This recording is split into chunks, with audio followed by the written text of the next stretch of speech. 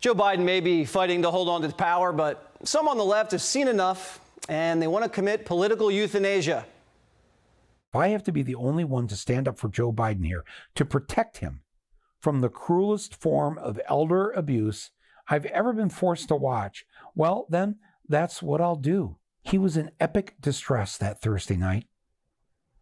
Every cognitive default in his mind seemed to be shutting down. If this had been somebody that you truly cared about, loved, embraced, what would you have done? Now, who's the victim of elder abuse? Is Joe or is it us, the American people? Dr. Jill Biden's reportedly the fiercest advocate for her husband staying in. Why? I think Jill would like to see him stay. She's having a good time. I notice she really seems to be having a good time, and I, I'm hearing that Hunter is calling the shots. So this isn't necessarily a very positive thing for our country. Editorial boards across the country are begging Dr. Jill to pull the plug. But the Bidens don't listen to the press. They don't even talk to them. Biden thought the press was unfair while they were covering up for him. Joe was forced out of a presidential campaign before. He doesn't want to cave again. Plus, you can't beat the perks. Jill Biden likes being First Lady so much, she reportedly has her own Hail to the Chief style entrance theme song that she makes the Marine Corps band play for her. Plus, school's out for summer, so Jill isn't teaching, she's traveling. Gets to campaign for her husband and fly around on nice jets.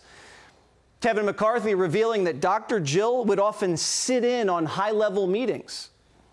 Jill doesn't want to leave either. Many times when we had meetings in the Oval Office, Jill was there as well. Interesting. Wait, so the First Lady was in some of your meetings about policy? Many times Jill would come wow. in. There was one time when I'd sit there and, and the president said something on the, in this famous tour down to the pool saying, Do you want to go do you want to go outside? Jill turns very quickly when he hears that when she hears that and says, No, they don't want to go outside because she knew exactly what position he was in and what he was doing.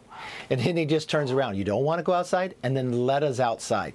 Many times, I don't think she's there for policy. I think she's there to give him comfort and direct the meetings. Former Jill Biden press secretary Michael LaRosa is back. All right, Mike, before we get to Dr. Jill. Hi, Jesse. Is, is Hunter really calling the shots?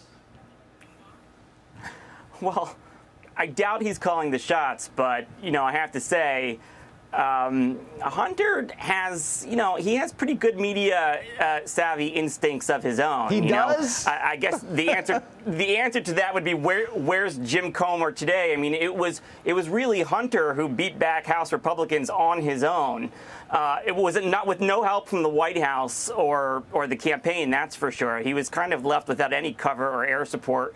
Um, and, you know, he pulled sort of some Trumpian moves. He came out there, he was confrontational, used the element of surprise, directly communicated, and uh, sort of was able to manipulate the media to win the coverage at the end of the day and shape some of the narrative. So, look, uh, you say what you want about uh, right. uh, Hunter Mike, and, Mike, and, he's also life, was, but, he was also convicted good. of felony gun charges and is facing tax felonies in a trial in September. I'm not sure he's as savvy as you say so he is, but tell so me more. So was the nominee, though. So right. was the nominee. Right. Tell me a little bit about Dr. Jill. We don't know her the yeah. way you know Dr. Jill. She apparently is telling Joe stay in and isn't listening to the press or anyone at all. Why?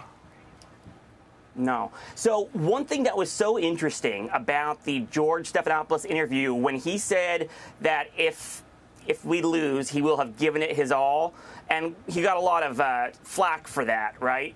it reminded me so much of what happened in 87 because as soon as he dropped out that same day, he was going into a hearing to chair the Bork hearings.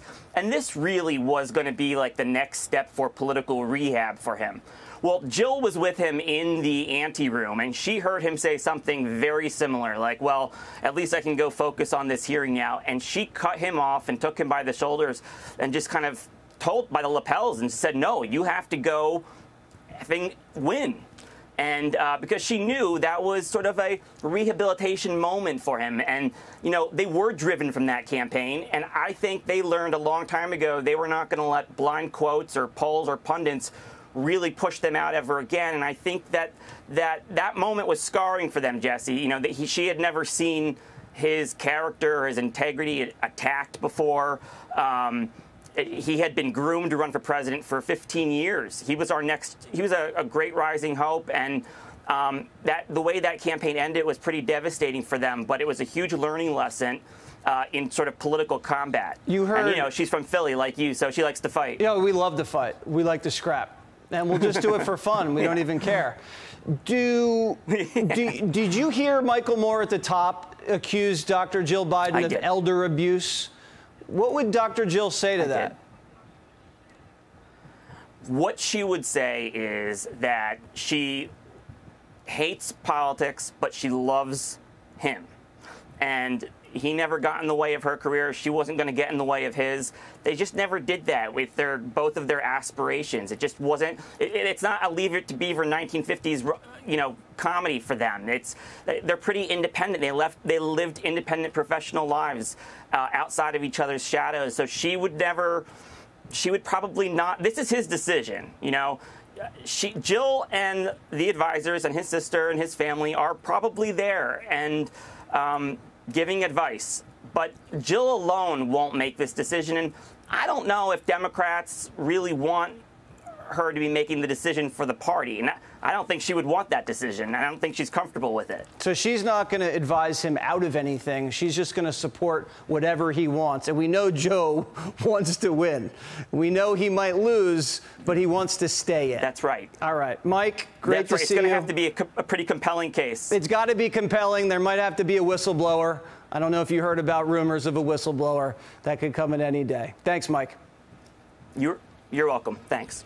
Click here to subscribe to the Fox News YouTube page to catch our hottest interviews and most compelling analysis. You won't get it anywhere else.